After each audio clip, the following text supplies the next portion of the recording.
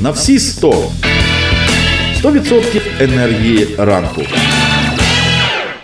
Друзі, ми продовжуємо нашу програму на всі 100. Нагадаю традиційно, що як завжди у цю годину ми працюємо для вас наживо. Телефон студії 76 92 40, код міста 0512. Тож, якщо під час ефіру у вас виникнуть запитання до нас або до, е, до наших гостей, сміливо телефонуйте до нас у студію. А, ну що ж, Миколаївські театри починають виходити з карантину. Миколаївський Руздрам на своєму літньому майданчику вже ставить вистави, а театр ляльок у найближчі дні теж відчинить свої двері для відвідувачів е, відповідно до їхньої інформації на офіційній сторінці у Фейсбуці. Український театр вирішив перенести свої вистави на вересень, проте насправді це не привід сумувати. Театр це особливе місце, де панує своя незрівняна атмосфера і свої правила. До вересня ще точно є час підтягнути свої знання у театральній культурі. Якраз про це і не тільки сьогодні ми говоримо разом із режисером та постановником, а також актором Віктором Смірновим. Вікторе, доброго ранку. Доброго доброго. А як у вас настрій, як у вас справи? Відчуваєте ось це полегшення трошки так від карантину? Ну так, вже не усамітнення, це точно, слава Богу. І радію, що весна, літо це така моя улюблена пора року. От саме така погода, це моя улюблена погода. Я її Люди люблю. скажуть, що трошки холодно, чи Нормально, вам якраз ну, добре? Це краще, ніж спека. Згоден, тут я з вами згоден. А, Вікторе, я вже зазначив, що у театрі існують певні негласні правила поведінки та культури. І є категорія громадян, котрі через незнання цих правил, незнання цієї культури. е, Можна навіть сказати, трошки бояться відвідати театри, щоб там ну не зробити чогось зайвого, щось зайве не вдягти. Е, перше, про що потрібно пам'ятати, що театр це не кінозал. Там дійсно є такі правила, які потрібно знати. Так, відрізняється, дуже Е, відрізняється. Перше, що ось особисто мені е, спадає на думку, коли ось так я порівнюю кінозал, так та театр, це те, що під час вистави не дуже чемно їсти в Це не театрі. не то, що не дуже чемно, це не гарно їсти і не можна їсти під час. Для цього є буфет, антракт, і саме для цього це призна- призначене місце, де ви можете піти поїсти, попити кави там чи щось міцніше, але це тільки під час антракту. З собою в залу нічого не беруть. Ось в кінозалі ми звикли там їсти попкорн, да. хот-доги чи тому подібне. Ну, це знов таки війня, це нове війня. В мій час, коли я був хлопцем, таким років 15-14, такого не було. Тобто це, це до нас все ж таки прийшло з часом. Війня заходу, так. А які ще табу існують у театрі? Ну, мабуть, о, якщо по дрес-коду чи по одягу говорить, то на сьогодні це дуже е, нивелюється. Ну, звичайно, що не добре, не гарно і буде виглядати смішно, якщо людина прийде в спортивному костюмі в театр. Це вже точно, це занадто, і це вже не А можуть не пустити? Ну ні, вже такі минули часи, але є заставші такі часи, наприклад, у нас в театрі м, при 90-х роках, на початку 90-х, при театрі був зараз там буфет, е, бар, а раніше там теж саме був бар Малібу, він називався. І м, навіть в цей бар можна було заходити чоловіків в смокінгах або- або костюмах, дами в вечірніх платтях. Лише так. Дрес-код, так, ні за які гроші в іншому одязі не пускали. От було таке табу. Театри, справа в тому, що настав такий час, коли, як то в народі приказка є, не дожи робить боживу. І театри мусять виживати, тому закривають очі на все. І ось це, можливо, це і погано, можливо, це і добре, тому що ну, є така різна позиція. Одні кажуть, нам потрібно виживати, а люди приходять, платять гроші, це одна позиція. Другі кажуть, ну нічого, він сьогодні зайшов в спортивному костюмі, він подивиться, гляне, можливо, він прийшов перший раз. Він подивиться, як це має бути. Наступний раз він вже прийде по-іншому. Я ну теж хочу так.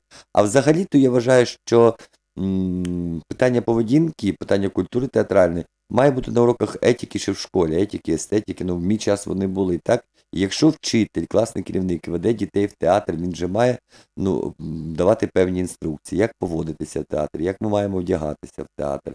Ну і, і все таке інше. І тоді це вже з дитинства один, два, три рази, і вже дитина знає, як треба йти в театр, що не можна йти в спортивному костюмі, що там е, не можна якось такий дуже яскравий макіяж робити, там чингачку, так, е, чи ще щось.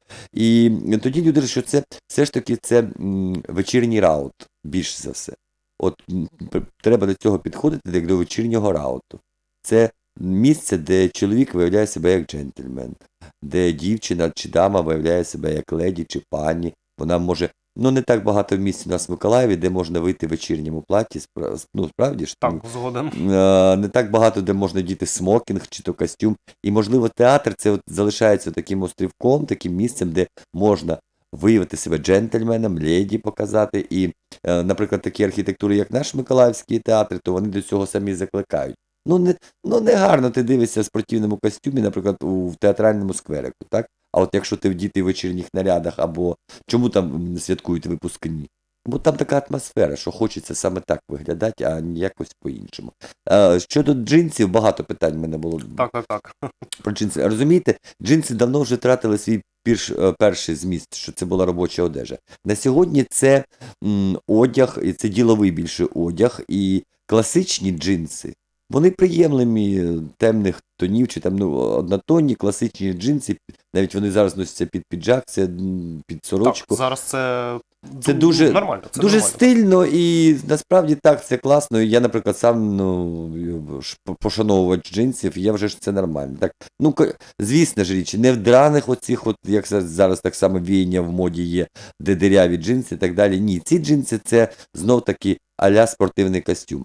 А джинси класіка, будь ласка, це дуже, дуже тобто, навіть такі класно. джинси можна не соромитися і вдягати до театру. Звісно, це нормально, це проходить. Тобто е, влітку, звичайно, ти не вдінеш піджак, бо це жарко. Правильно? Там, ну, де влітку театрі менше працюють, але все ж таки бувають такі. То сорочка і джинси це просто ну, ну не в майці, на бретельках. Да, там показати, яка в мене мохната грудь там, чи ще щось. Це нікому не цікаво. Тобто, ну, естетичний вигляд, скажімо так. Але вже людина на сьогодні, так я ж кажу, зневілювалася мода, унісекси, всі ось ці. Так що ну, людина сама має розуміти, як це, що ось раут, відход театр це раут, так, вечірній раут. Навіть якщо вистава днем. А йдіть від положення, що це вечірній раут. Як ви дінетесь на вечірній раут? І все. А далі Google в помощь, як я кажу. А щодо правил поведінки, так ми вже зазначили, що не можна їсти під час вистави. Наскільки я розумію, також е, в кінозалах люди звикли, якщо, наприклад, це комедія, вони голосно сміються, не приховуючи своїх емоцій. В театрі можна голосно Ну, розумієте, якщо я просто знаю, що є такі вистави, де ти не можеш не сміятися. Ну і це нормально. І актори це сприймають, до речі, емоція в залі це на те, що надихає і підтримує акторів. Якщо ми граємо ком- комедію і зал реагує, то це класно. Е, це так. Але ну, окрім психічних захворювань, як я завжди кажу, що бувають люди, які можуть там слух сидіти коментувати. Найбільше дві речі, які мене як актора дратують в театрі, це невимкнені мобільні телефони. Чесно, це настільки. м, У мене були такі моменти і не один раз. І другий момент, я колись, по-моєму, вас розповідав, як Ада Миколаївна Роговцева розказувала про телефон. А, Тож А, нагадайте, йде- будь ласка. А, ну, йде вистава, дзвонить телефон. Вона каже: я спеціально роблю паузу, дати можливість людині виключити телефон. Ну, ти вже побачив, да, може, ти забула, ну вже відключи його. Вона каже, йде вистава далі, проходить 3-5 хвилин, знову дзвонить телефон. Ще якась така мелодія, каже, противна. Кожен знову дзвонить телефон, каже, «Ми чую, і тут же залі роздається таке, знаєте, такий чоловік.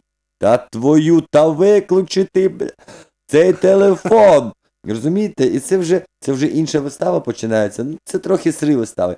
Оце перше головне. Друге, неприємне, не, негарно, і тут просто треба думати, але знов таки дуже часто це зустрічаю, коли ви, наприклад, ваші місця всередині ряду, і вам треба встати і вийти, то до людей, які сидять в цьому ряду, йдуть обличчям, Ось. а не тильною Це стороною. потрібно запам'ятати. Пам'ятаєте, бо інколи, і коли так біля тебе пропливає чиясь Попковська губернія, ну не дуже приємно, знаєте, там.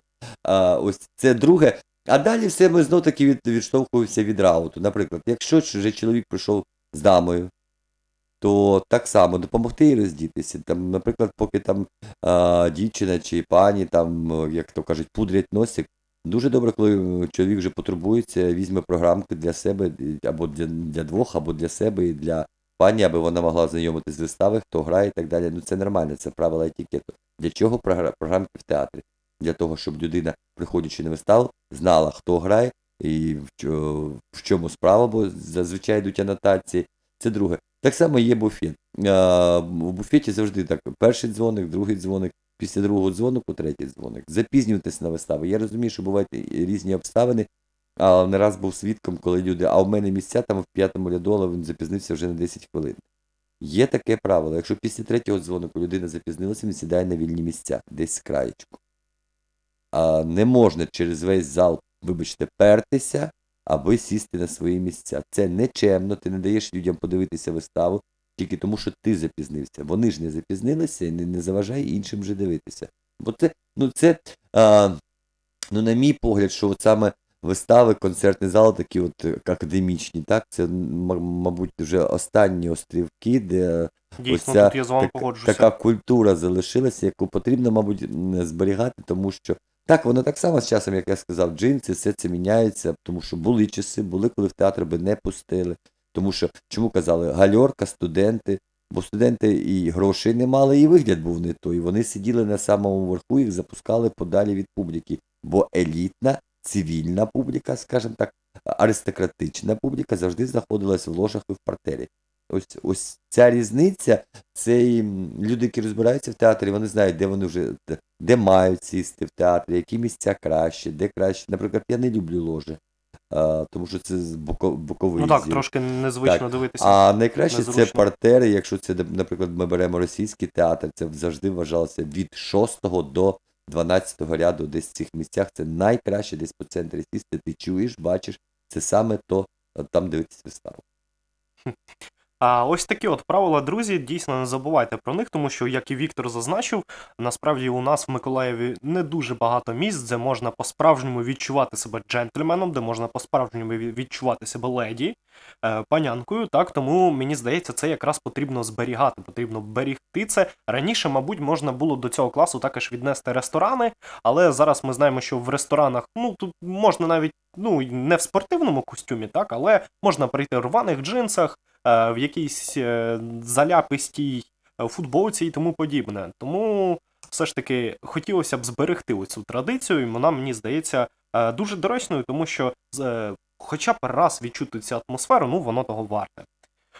Вікторе, е, тепер давайте трошки поговоримо про вас. Для тих, хто стежить за вами на Фейсбуці, вони б мали змогу побачити, що у вас нещодавно була така плідна співпраця із театром під назвою Соломія. Це не Миколаївський театр, Ні, так? Це Івано-Франківська область, незалежний театр Соломія, е, жіночий театр він вважається, так співпало, що вони, е, ну, головна їх мета, вони е, ставлять, роблять вистави і показують вистави про жінок, про долю жінок, е, про якісь жіночі долі, свої, ну, так от, жіночі історії, скажімо так, життєві. Мгм. А, да, це, але це професійний театр. А ви там були нещодавно режисером та постановником однієї, е, до речі, доволі цікаво. Це так співпало, що це була моновистава, якраз на період карантину, так коли потрібно було дотримуватися соці- соціальної дистанції такої. Чи це було заплановано? Ні, це так, е, розумієте, е, мені позвонила Мар'яна, мес- спочатку написала, потім це дзвонилася, вона каже, так і так, хочу на себе моновиставу. Вона є вона актриса так само професійна, працювала у Франківському національному театрі, вийшла, зробила свій театр. Ну, зараз тут незалежні театри почали з'являтися в Україні, коли е, люди йдуть від от, Ріма Зюбіна, пам'ятаєте, він сказав, що ми йдемо від рабства, ми хочемо свободи. І роблять театри, які Е, У нас в Миколаєві, зараз в Маріуполі ми робимо обмін, так само такий же незалежний театр, так само режисер бивший. Приємно спостерігати за такою тенденцією. Да, і професіонали йдуть і створюють щось своє. Так, важко жити. Карантин показав, що це, мабуть, найстрашніше це виявилось для незалежних театрів, бо ми жили без державної підтримки, суто за свої роботи і вистави. Але все ж таки це свобода, це мислення, це політ такий свій, і ти ні від кого не залежиш. Тільки від себе, і, але не маєш права на помилки, бо бюджет тобі не дасть гроші, що ти помилився, на ще постав. Тут ти вже не маєш Спробуй права. ще. Да, тут нема таких помилок. Але м, а, Мар'яна написала, що хоче виставу. А якраз в мене вже була вистава, я давно над нею думав. Знов це моя улюблена котляр. А Майя Траховська мені прислала виставу Жіноче щастя. Але вона ще назвала її, каже: Вітя, я не хочу називати її жіноче щастя, бо це женське і щастя, не щось вона мені не туди. Каже, я назвала її взагалі називається Колискова для Регіни на російській мові. Але ми перейменували головну героїню. Нам з Мар'яни щось те слово Регіна не дуже сподобалося. А, е, і ми так назвали жіноче щастя, тому що жіноче щастя вже не, не, немає асоціації з е, тою Так, коли воно українською звучить. Так, ми переклали цю п'єсу. Я, я ну, спочатку я її вислав, кажу, так, у мене п'єса на російській, дивись, якщо тобі подобається, давай зробимо, бо в вересні, здається, проходить фестиваль моновистав монологи над Ужем, називається в Ужгороді. І вона каже: Я хочу поїхати от туди. Я кажу, ну давай спробуємо. Я вислав, їй сподобалась п'єса. Ми почали ставити і кажу, слухай. А до речі, чому я відмічав Вовк, тебе в цій постійно в цій, чому саме вас, взагалі працівників радіо і телебачення? Тому що подія головна героїня, так само, як і ви радіоведуча.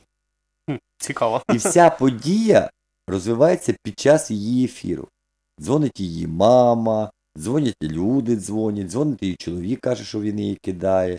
І все і от під І все це в ефірі. Да, і взагалі глядачу спочатку здається, що це іде ефір, от як в нас зараз, і це насправді так відбуває, відбувається. Потім ти розумієш, що. І ми вирішили, а чому б не спробувати зробити дві вистави? Одна сута онлайн-вистава, от те, що ви побачили, а одна буде адаптована вже е, під глядацьку залу, під е, сцену. І це будуть дві різні вистави. От зараз е, ми її випустили, вона, до речі, буде йти в Ютубі і в Інстаграмі ще. А потім я їду туди їм трошки доробляти на сцену їх театру. І там ще буде ще одна вистава робитися на їх театр. Знов таки буду ставити ще одну вже комедію. А, моновистава, так? Е, чому ось, е, на вашу думку, в чому взагалі особливість моновистав? А, тому що е, дехто може сприйняти це моновистава, так? Дехто звик бачити багато акторів на сцені, і йому може здатися, що це можливо не так цікаво. Чи в змозі актор передати один сам ось всю цю гаму емоцій, почуттів? От, е, розумієте, ну насамперед, це який матеріал драматургічний, це головне. А друге, наскільки рівень актора професійний. І це такі, знаєте, як для мене так як акторська магістратура, така докторська степінь. А, тобто, так, це треба мати м, хист, треба мати сили, витримати виставу, зробити так, щоб глядач від тебе не пішов, щоб йому було цікаво. Це рівень вже професійності акторської. І Ось ем, я вона мене надихнула, я в себе зараз так само роблю в театрі моновиставу про велику жінку 20-го сторіччя, поки що не буду казати про кого що. Секрет. Так, трохи пізніше згодом знаєте, але це буде така хореографічна, драматична вистава, тому що працює балетмейстер Андрій Іванов. Зараз плотно ми зайнялися з цим. І це дуже складно. І якщо людина на це рішається, це, ну, це віддатися цьому, це весь час ти під оком. Тебе нема часу піти десь, як на сцені, да, там ти вийшов, пішов. А це ти тримаєш, в тебе йде діалог, в тебе йде сповідь перед глядачем. Неважливо, яка сповідь, чи вона драматична, чи вона комічна, але ви один на один, і тобі мають вірити. І ти кажеш в очі глядачу. І або він тобі вірить, або він тобі не вірить. І це, це насправді це круто. Я, до речі, я боявся спочатку ставити моновиставу. Тут, е, знаєте, така палка до кінця. З одної сторони, це Котляр, мій улюблений автор. Я вже з нею багато працюю, ми вже друг другом в унісон е, чуємо один одного. З другого, там же жінка, мені легше працювати з жінками. А з третьої це моновистави, це мені було страшно. Ну, ну судячи по Це ваш перший досвід, так? Моновистави першої, так. Але вже не останній і вже, вже розмовляв з акторами, є пропозиції з е, відомими акторами, будуть ще моновистави. А, от, як на мене, так, як на глядача, мені здається, складність також полягає у тому, що, наприклад, банально просто таке так, тому що таке теж іноді трапляється. Е, актор може якось забути чи текст, чи якось трошки розгубитися, не ту емоцію віддати, чи тому інше. А якщо є актори поруч на сцені, вони можуть якось трошки підхопити, так, як то кажуть, трошки виправити чи, чи підказати навіть. А якщо це моновистава, права на помилку взагалі немає. І, і так, і так. От е, під час праці з акторами ти шліфуєшся, ти стаєш такий гнучкий, пластичний, ти вже вмієш викручувати ситуацію, де коли забути текст. Коли е, актор вже йде на моновиставу, е, ну я хочу вам сказати, я не буду казати, хто і які вистави в мене грали. Кожен раз по-новому новий текст треба було бути готовими. Розумієте, хоч не один. І тут о, головне, ну, кожен актор для себе акцентує, де головне, де не дуже головне. Оце я маю знати як отче наш, бо це головне. А тут можна там навіть своїми словами десь щось не так. Ну, щодо Мар'яни, то весь текст вона казала нормально. Ну, до речі, вона доволі, доволі молода, пам'ять добра і м, працювалося з нею легко. Ми працювали вночі по інтернету, по відео. І, мабуть, от саме важке було для мене, тому що я людина дії, і мені треба стати, піти, показати. А знаєте, як це з тим телефоном чи з тим ноутбуком? І це капець. Це була така мука для мене, що я не можу підійти і сказати, палець от не туди поставила, руку не туди поставила. Оце було складнощі. А, але ну, я дякую цьому досвіду, бо він, е, знаєте, убрав від мене всі ці тиснення карантину, це коли ми у нас усамотнювались. Я не був самотній, скажу так, я щасливий, бо я не був самотній. У мене були репетиції в інтернеті, у мене було навчання в інтернеті, у мене був сад, город свій, там ще щось було. Було Тобто, чим зайнятися на Я, карантині. я не настільки, і ми в цей, в цей же час е, незалежна наша платформа постійно працювала. Ми запустили перші в Миколаїві, запустили онлайн-вистави. Потім ми тут же почали робити 8-9 ми транслювали аудіовиставу Війни на жіноче обличчя. Тобто у нас була постійна робота, а ще й вистава у нас готується до випуску Остання ніч. Це про єврейське гетто, остання ніч у гетто на трьох людей вистава, знов таки котляр. І ми зустрічалися на вихідні. Ми зустрічалися. Навіть коли були перепустки, ми вийшли з ситуації. Кожна субота, неділя в нас йшли репетиції. Тобто не було так сказати, що театр застив і не працював. Ні, не було. До речі, 21 червня ми, ми робимо, а завтра була війна в дворі Довку.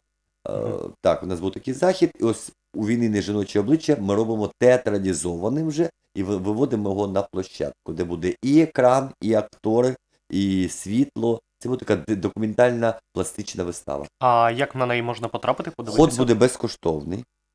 Е, До нас приєдналися молодіжний театр Стук, е, міський палац культури е, Сергій Бойчук. І тому вхід буде безкоштовний ввечері. Це буде вечір, бо екран десь приблизно о 8 вечора. Трошки пізніше ми запустимо рекламу. Це буде 21 червня. Так, а завтра була війна, 22 червня. І А. якраз це була неділя, і якраз це були випускні, а в воскресіння почалась війна. Ось так, от, знаєте, воно так співпало. співпало. Да, все, ми хочемо це зробити. А, розкажіть, будь ласка, ще які у вас творчі плани на майбутнє найближче? Ось про 21 червня ми дізналися. Ну, так, 8 сподіваюся, вхід да, безкоштовний. Безкоштовний. В липні, а ми сподіваємося, що в червні ще там само на літній площадці ми покажемо ще раз Дмитра Креміня транзитом крізь часи. І, можливо, а, ми презентуємо виставу а, Крилатим ґрунту не треба по поезії Ліни Костенко. Можливо. Це як на початку липня до 10-го ми хочемо відіграти дві вистави, які ми обіцяли глядачу. Це Вибирай і це Війна дівчата. Вистава. 10-11 у нас заплановані гастролі в Маріуполь. Це будуть обмінні гастролі. Ми їдемо в Маріуполь з нашими виставами.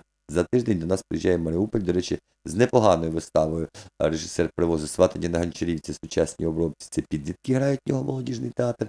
І друга вистава, точно знаю, що про голодомор, це вже професійні актори грають. Дві вистави привозить Маріуполь. А, серпень місяць, е, кінець липня, початок серпня, скорше за все, нас гастролі в Кропивницький. І вересень, сподіваємося, що якщо не буде карантину, ми проведемо театральну школу від Асоціації незалежних аматорських і незалежних театрів. І в вересні нас заплановані гастролі і Івано-Франківськ, Коломия, а, Косні Косів, а ще один город, коротше, Івано-Франківська, і, можливо, борщів. Такий тур по Західній Україні. Нас іде, а 22-27 вересня ми запрошені в Кропивницький на фестиваль е, вересневі е, самоцвіти е, до дня народження Кропивницького 180-річчя, здається. Наш театр буде приймати участь в цьому фестивалі. Нас вже У внесли в вас список. плідний такий Дуже, е, літо, так, плідний початок вересня, О, вересень. Так, так, так. І жовтня вже буде, тому що і там треба їхати ставити вистави. Навіть зараз не можу спланувати свій час як режисера, коли я мушу поїхати. А ще в нас ж є студенти, які поступають в Карпенко Карго, там ще десь, і це ще Їх теж робота. потрібно готувати. Так. А, ну що ж, Вікторе, дякуємо вам за цю розмову. Бажаємо вам успіхів, аншлагів у Дай ваших Боже. залах, платформах. А, що ж, дякуємо за розмову, друзі. Це була програма на всі 100. Для вас працював Денис Бобков, Наталія Квашенко за операторським пультом. Дякуємо, що були з нами. Ще почуємось на все добре. 100% енергії ранку.